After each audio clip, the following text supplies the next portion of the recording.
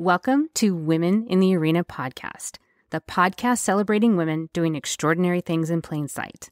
I'm your host, Audra Egan, and our mission is to elevate the value, strength, and resilience each woman brings to the world. Without further delay, let's go ahead and start the show.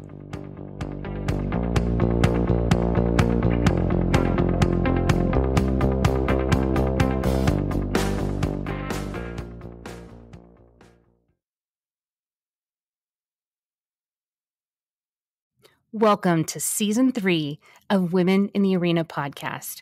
I'm your host, Audra Egan, and thank you so much for being part of this community that celebrates women doing extraordinary things in plain sight.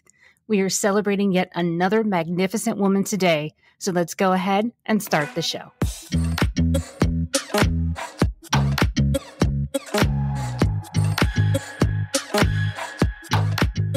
Welcome in, everyone, and thank you so much for joining me this week. Boy, are you in for a treat. And, and I know, I know I say that every week, but every week, these women that I get to speak to are just so remarkable, and I get so excited that I can't wait to introduce them to you. And Stephanie is no exception. She is a woman that literally has made her life by taking leaps of faith. She came to the US in 1991 with very little, but she had a dream, and that dream has become a reality. She has built a very successful agency and has been in business for 25 years, and she has worked with several large name organizations to build their brands. It is truly my pleasure and my honor to introduce to you Stephanie Teuwen. Stephanie, Thank you so much for being here and welcome to the show. Audra, I am so excited to be on your show. I've been listening to other podcasts of fantastic women you had, and I'm really humbled to be a part of uh, this family of fabulous women. You know, and and you know what? And I'm going to stop there for a moment and say thank you for saying that it's a family because that is exactly what I've been trying to build. I've been trying to build a community and and thank you for acknowledging and recognizing that because that's that that is my vision. That is definitely my vision to build this as a community to lean on each other. And and thank you for becoming a part of that. I am beyond excited. Well i want to tell your story because you have such an amazing and remarkable story. And uh, first of all people may hear that she does not have an american accent. I may have alluded that to to that in the beginning, and she is originally from Provence.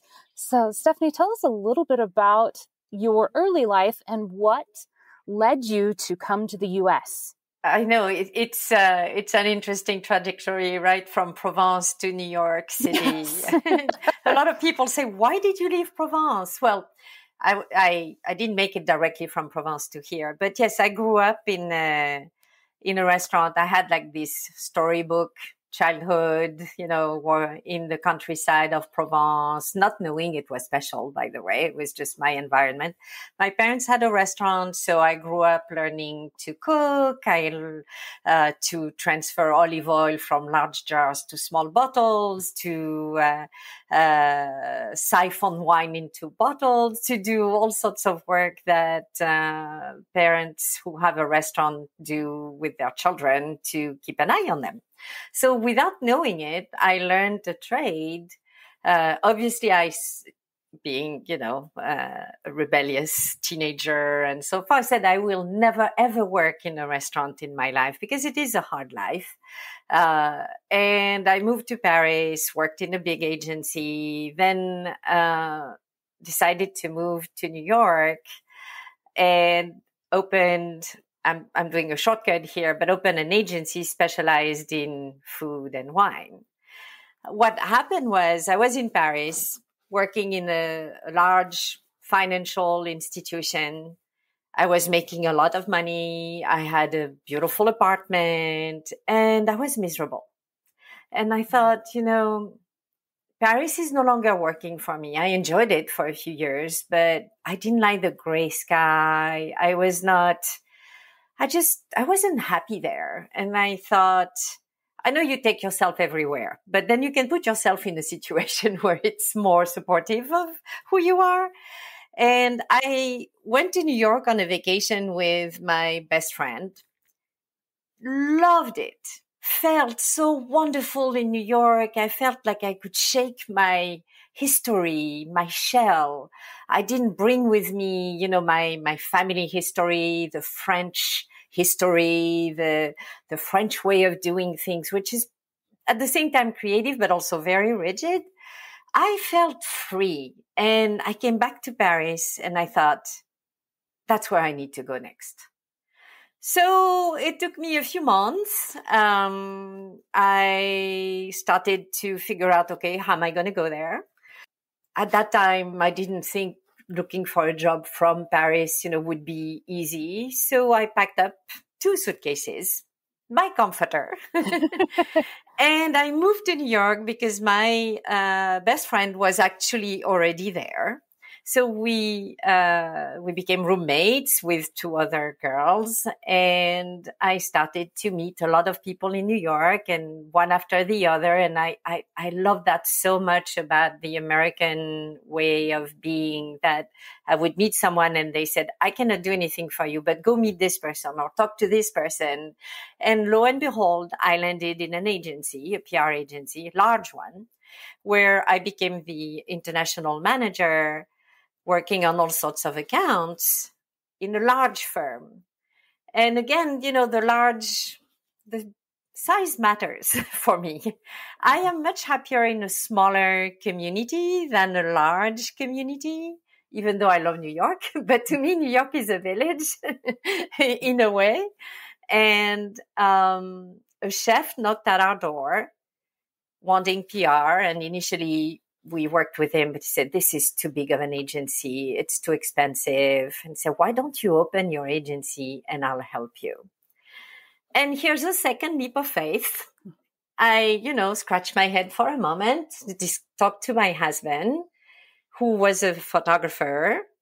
And we talked and talked, said, Why don't we open our company together? You'll do the visual design photography, I'll do the PR marketing and because I love food and wine, that's the industry I am going to specialize in. And that's what we did.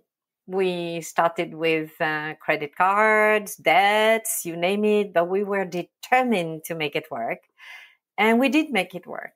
Uh, and little by little, we added people who were talented and de- dedicated to doing good around them and working with client in a way that we never feel like they are a client on a pedestal. We're a team. We're partners. We work together. We're, we're not going to say yes, yes, yes, because we're afraid to lose the budget. We're going to say, no, this is not going to work for you, or we can do this better, or we can get better results. So we really work together as a team. And again, this idea of family community, you know, create all around us kind of a circle and enlarging the circle, making it bigger and bigger. And uh, in this circle, we bring all members of industry and we all work together.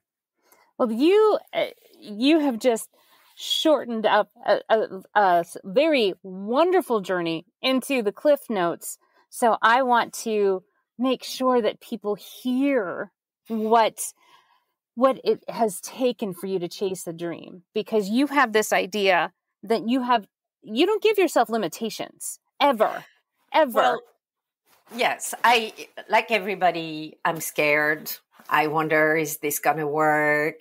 Is this a good idea? But then the one thing I've learned to do is really listen to this little voice inside, not the one in your head who's always judging you and others and say, oh, no, you can't do that. But the one in your belly, in your center, you know, which says, this is where you need to go. And, uh, and when I was in Paris, again, with a very cushy life and, I went to New York. I had no visa. I had a tourist visa. I had a suitcase. you know that. And your that comforter. And, and my comforter. I still have it. and your comforter. and and you took such a leap of faith and believed so much in what you felt like you had to do, you didn't, you skipped this part. You came Yes. to New York with one way tickets. That's right. I had at the time you could do it. You can't anymore. But Right. I bought one way ticket. I I just knew this was going to work, and I did something that was so not like me. I gave all my books away, and my friends were like, "You're giving your books?" I said, "Yeah, I'm not coming back.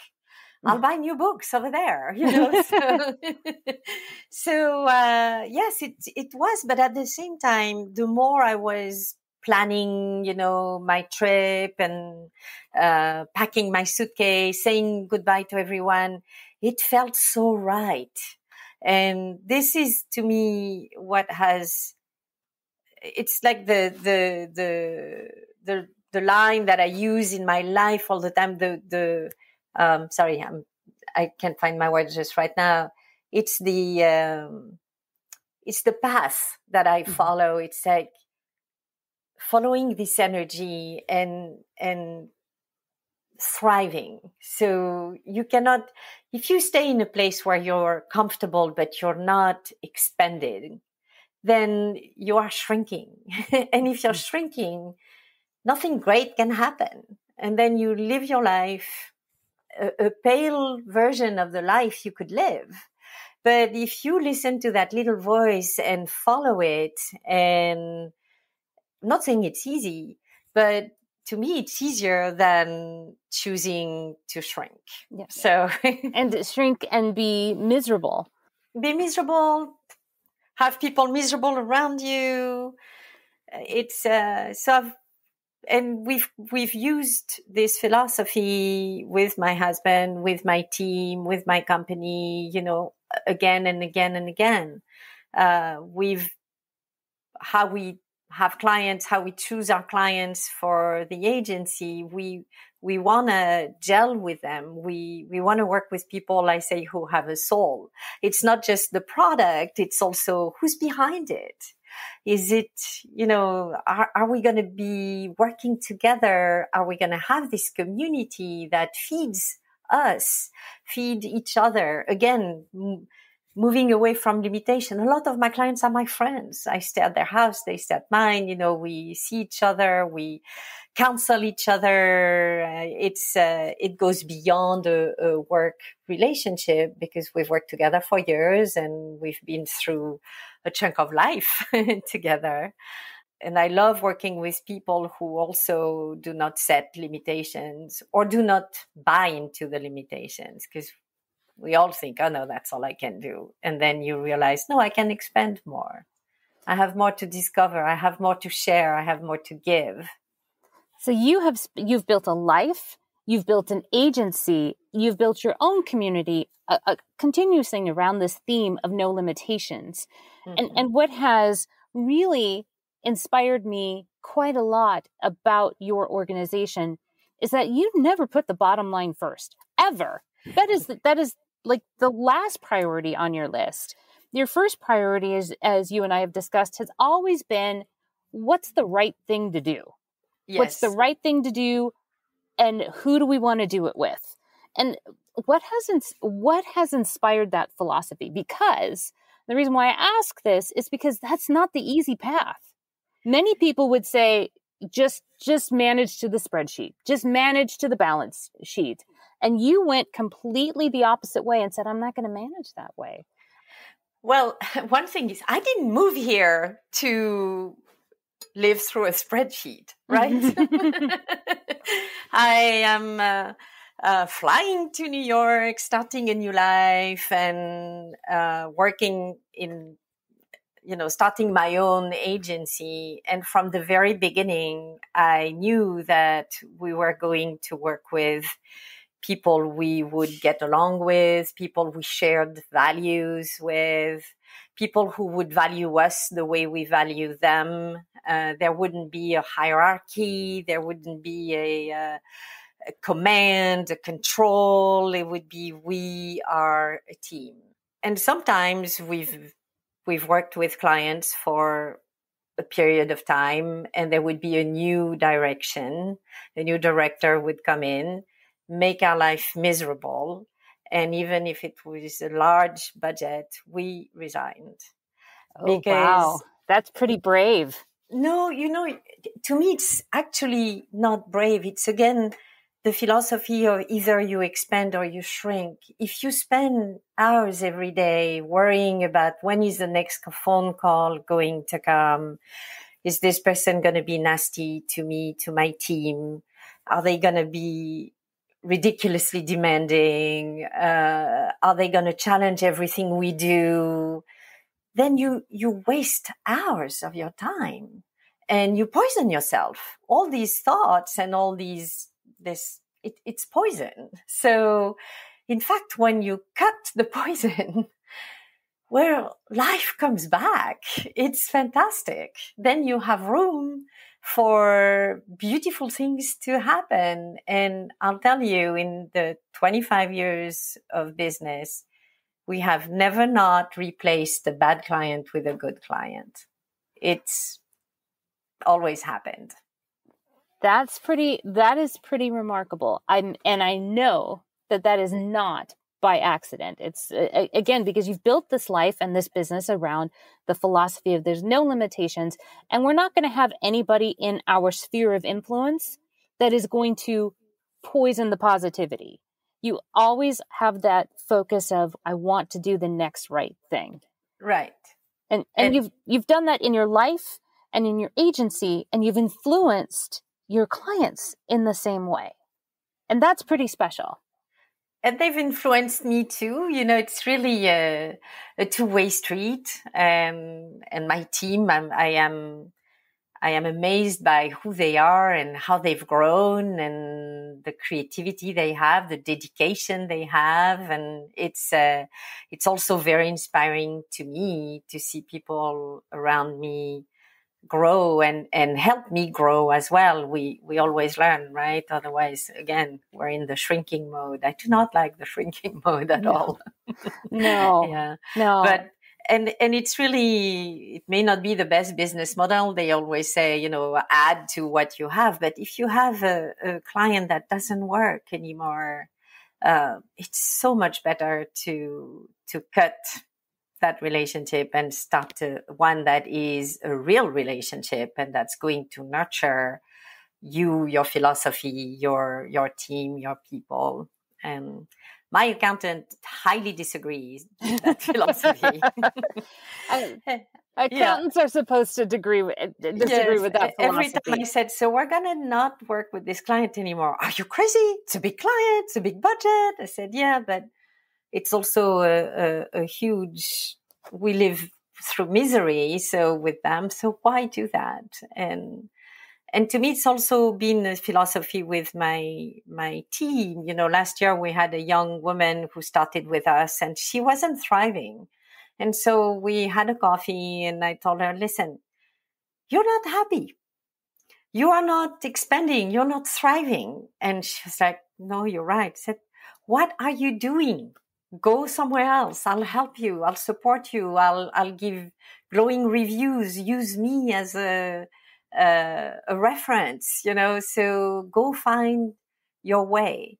And I didn't want to lose a full-time person that then I would take, you know, months to recruit again. But she's thriving now where she is. And it makes me happy to see that. And we have a new person who's thriving with us. So it's again a, you know, you cut the bad what doesn't work. I don't want to say bad, but the relationships that are no longer working. Maybe they worked at some point and they no longer do. Uh, and it's really, and has nothing to do with the money. This episode is sponsored by Belleville Capital Management. When you need a friend in the small business arena, reach out to Belleville for your planning, lending, and investment needs. A friendly consultant will help you find the solutions that you are looking for. Belleville Capital Management, a friend to small business. You know, I, I, even though in, in this context, I know that we're specifically talking about business, but this is also the same philosophy that you've applied to your life. Mm-hmm. And you've influenced your team around you to apply this philosophy to their lives. That if it doesn't work, don't keep chasing after something that is no longer serving you and go and find something that does. And I find that is that you are reinforcing that to your team and having them do that in their own personal lives is something that is not just life changing, but it's world changing. Have, have you seen personally, besides the young woman that, that you knew wasn't happy, which I think is such a, a, a thoughtful gift that you gave her to, to take her under your wing and say, I want you to be happy. And if I can't make you happy here, let me help you be happy somewhere else. But besides that situation, is there other growth that you've seen amongst your team that just by being you and, and living this philosophy truly and fully, you've seen their lives transform in front of you? I I can't, you know, uh, give myself the credit for this, but I I I do believe that I created an environment where everybody is allowed to be themselves and everybody is adhering to this collaborative community uh, sense. So yes, I've seen people telling me, you know, they would come as a new recruit and and said, "Oh, my boss used to yell at me or we'd go to do an event in a city and we'd all bunk together in an airbnb and they would say oh, i would never sleep in the same house as my boss you know in the previous life. It's like because i i don't believe in in hierarchy i believe in collaboration. So i've seen around me people uh, really thrive and and enjoy their their job and their life and become amazing professionals. And one of them you spoke to her marissa who mm-hmm. started as an account coordinator was always so entry level always so hardworking. From the beginning i saw a gem. And she's now vice president, you know, and I, to me, she's, she's a partner in the agency. I will not make decisions without running them by her because we together, we've been working for so long to bring the agency where it is today. I would never make a decision without talking to her. But so that's what I've seen you know, I don't want to take credit for the way they are because it's them, it's not me. And they put themselves in this environment, you know, it's like we, by through interviews and so forth, suddenly we, you meet, a, you know, it's like, this is where I want to work. So it was their choice.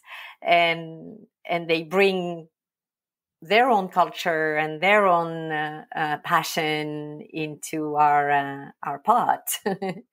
um, but yes, do I see people thriving? And I'm always sad when they leave because you know we become so close. But at the same time, I I love that they have opportunities to you know grow even more.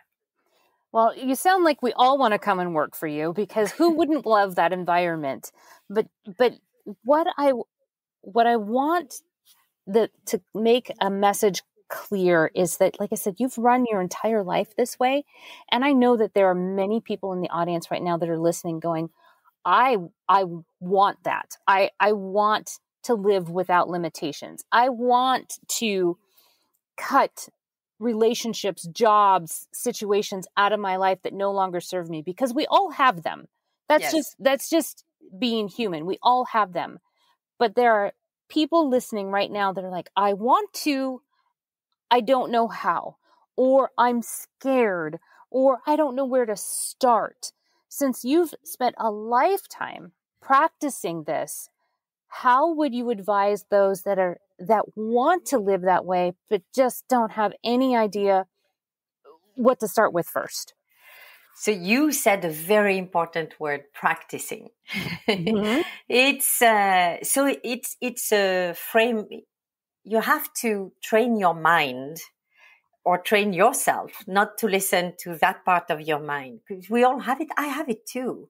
Like when I I cut a, a very lucrative client from, I have jitters for a moment, but then I look at the other side of the scale and like anxiety, depression, fury, uh, uh, you know, all these horribly negative feelings that are poisoning me, us, my team, then the decision is clear. So I, I the advice I would give to people is just sit down with yourself and look at the situation. Is it, put it in a scale. Is it worth the negativity, the poisoning, the, is that worth it? And I know sometimes it's very difficult. I've seen people divorcing and they, they couldn't get to do this because they had children, no money. And then they suddenly, a whole new life happened because I, I really think when you, when you cut what doesn't work, you allow the plant to grow and we're plants. Mm-hmm. we have roots. we, we grow and then we become mature and, uh, and so I would say just, just trust yourself. It, trust that your decision is the good decision for your own health and the health of people around you. And find people who are going to support that. You know, there were people around me who said, Oh, you cannot go and live in New York. You don't know anything. And I, so I just didn't listen to these people. I found the person who said, wow, this is so exciting. We'll come visit you. Okay. Then I can have those discussions, you know, because it fed what I wanted to hear. and you let go of the other uh, people momentarily or forever. You know, we all have people, projects, situation that are toxic. And if we take a moment to look at them, face to face and and cut the bullshit just okay where am i here and what do i need to do to get to the next step well take that next step it will happen well i think that and i've said it many many times over the last year even though this past year of a pandemic did not feel like a gift it has been and i know that when i when people have heard me say this, they think I'm crazy and I'm okay with that. But the the main reason that I say this over and over and over again that it's a gift is because it all made us sit down and stop. I, I mean, I was no longer on planes. I was no longer just distracting myself with activity. It, it was just activity. And uh, you, when you quiet down, you can't distract yourself anymore. So I, I really believe, and I've started to acknowledge and recognize over the past year what kind of evolution has happened specifically for women. Because over the past year, if one of the largest groups that were affected by the pandemic and losing jobs and what have you has been women. And it's allowed women to sit and be quiet and figure out what in the world they really, really want. And many of them are doing exactly what you've said is be quiet with yourself and be truthful with yourself and decide what's not working for you anymore and being brave enough to discover what what will work even if you have zero idea how to get there i mean that's what i love about your story you had zero idea of what you were going to do when you went to new york no idea i knew i knew one person you knew one person You knew one person. You didn't even have a work visa. You had a tourist visa. I mean, you couldn't technically work. You had no idea, but you somehow followed the breadcrumbs and you chased your passion. Same exactly. thing with your agency. You had no idea you were going to open an agency. You started with one client that said, Hey, why don't I work with you? And you trusted yourself and you trusted your gut. I think if more of us did that, then if we lived our authentic lives, first of all, we'd be a whole lot happier. And I think that the world would be a much, much happier place because you'd have happy people. Yeah, and and I don't want to paint just a rosy picture. I like everybody else. I have moments when I am tired, exhausted, uh, depressed, but it it doesn't last because the foundation is solid. I have practiced that uh, uh, do not believe in limitation and and follow your energy, follow your truth, listen to your truth. I, I keep practicing that. So even when things happen in my life that like everybody else, I don't, you know, a lot of, you know, things, life happens.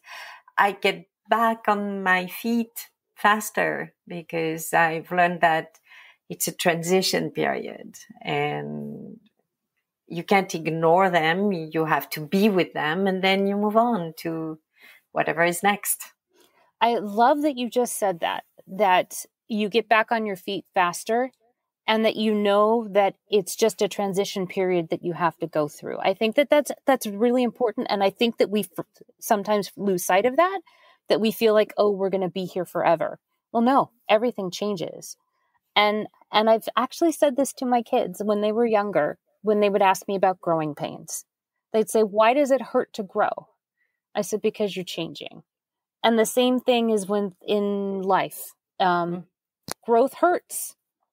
It, yes. If it if it didn't hurt, they'd call it something else. They'd call it growth tickles or something. But it's it, it's um, growing pains is necessary for you to transition and to evolve to the next level. And and I just like I said, I love that you have this permanent belief that you are not limited and so you will know you won't shrink yourself to fit to fit the model no i, I think that's uh, uh, it wouldn't work. It cannot work because I know there is another path. so I would really lie to myself if I said, no, that works. And I do that sometimes too. I, am not a superhero. and sometimes like, no, this is fine. This is fine. And then at some point, this little voice said, you know, it's not true. so I have to listen. Yeah, you're right. It's not true. So uh, what do I do now? And you're right it's uncomfortable to grow, but at the same time, I find it way more uncomfortable to to shrink, not to grow, to live a life that is not satisfying. Because yeah. it's not satisfying for you, it's not satisfying for anyone around you. Then you cannot be there to bring some a light in in the, the world. I'm going to do something that I've never done on my show ever. But I think it's important to do this because this is an incredibly important topic because, because I think that as women, we have been unfortunately culturally trained to shrink ourselves into spaces. So I want you to imagine that you're speaking to one person out there in the audience that you have recognized is shrinking themselves to fit. And you know that it doesn't work for them and it doesn't fit for them. And I want you to talk to them as if you are a, a loving, caring friend and help them encourage them to get out of that space. So I'm going to shut up and I'm going to give you the opportunity to have that conversation. Hmm, that's a, a challenge. Um, so listen, I have seen you in the past few months, weeks, battling with yourself in a dark place. And I know you are, it's not depression. It's not, I know you are a strong person inside. You have lost track of your own inner strength so I want you to take time for yourself and find a way to be a few days alone, quiet, do walks outside if that feels good to you, or stay inside if you prefer, and get back in touch with that inner strength, your uh, the core that is gives you the direction you need to go in your life to be happy, to be fulfilled, to be satisfied, and to spread that around you because you are, you are a being of, you are full of light and your role as a human being is to spread that light and you have turned it off. You, you need to find it again and you have the capacity to do it. You just have to let go of all the other voices, sit down, calm down and use whatever works for you. For me, it's walks outside, use a pen and paper and write down your thoughts, but get back in touch with that inner strength because you are a strong woman. You are a strong person you are meant to be a being of light. Oh my gosh. I, um, I, I wish you guys could see our faces because I just, I, that electrified every single cell in my body. And I really, really hope that it did everybody else's too because uh, Stephanie is such a special woman. And I wanted her to speak from her heart to you because she's so inspiring and she has such a light around her. And I, I hope it touched your hearts because that's exactly what I wanted. And thank you, Stephanie. I'm so happy that you did that because I know that that was definitely outside of your comfort zone, and I'm just happy you did that. So thank you. Yes, this is totally outside my comfort zone. But you know what? I'll, I may need to listen to this at some point in my life. Like, remember that you are strong. yes, we yeah. we may we may have to put it on a mm-hmm. on a on a clip and and pass it around. But I wanted to make sure that that we did that because it's just such a special thing, and I wanted to remind uh, uh, have Stephanie remind all of you about how incredibly special you all are, how incredibly strong you all are. And I am so proud of each and every one of you because each and every one of you has changed and influenced my life over the last year. And I wanted to remind you of that because you have that power. Uh, Stephanie, thank you so much for joining me this afternoon and, and sharing your light with the community. I cannot thank you enough for being so generous of your spirit today. Well, Audra, I need to thank you because you created this community. You, with your strengths, with your own light, with your passion, your willingness to also be uncomfortable. Starting a podcast in a pandemic is not a comfortable place. Uh, you've made it possible for so many women to listen to other women. And uh, like we are saying, all the women you have on your podcast are all fantastic and they are not celebrities. So it, it's not unattainable say, I listen to a few and like, yes, you're right. I love this. But I know they're not living in a huge Hollywood home with five pools and, you know, 15 servants. They're just like me. They clean, they make their bed and clean their home. So, uh, thank you for creating this community. It is my pleasure. And, and, and Stephanie, I want to give you an opportunity to let people know how to get in touch with you, to talk to you about your your PR group uh, because you never know. We may have someone out there in the audience that says she sounds exactly like someone I'd want to work with. So, how would we connect with you? Um, so we have a website which is uh, uh, teuwen.com, T-E-U-W-E-N uh, dot com. My own email, which is Stephanie with PH. So I, uh, Stephanie at teuwen.com. And also on Instagram, I am, uh, Stephanie Teuwen. It's not very original. I, I, tried to find a, a, name that would be French and American, totally failed. So, uh, Medoc and Maple, or,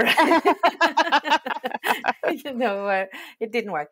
And my agency, Teuwen Communications, is on Instagram, Facebook, uh, all of that. Thank you. And I and I encourage you to reach out to Stephanie because she is as lovely in person as she is on the show. So please reach out to her because she's warm and generous and and I, I she's a delight. So once again, Stephanie, thank you for being here with me this afternoon. I've enjoyed every second single moment of it. And thank you, Audra. Me too. I'm I feel very moved to be here with you. We shared a beautiful moment today. Yes, we did. Yes, we did. And I want to thank all of you once again for joining me this week. And we'll see you again next time.